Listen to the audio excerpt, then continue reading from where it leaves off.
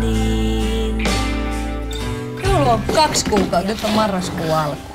Tomi Laakso on onnellisesti naimisissa. Tää on korvakoru. Kunnes hän törmää toiseen naiseen.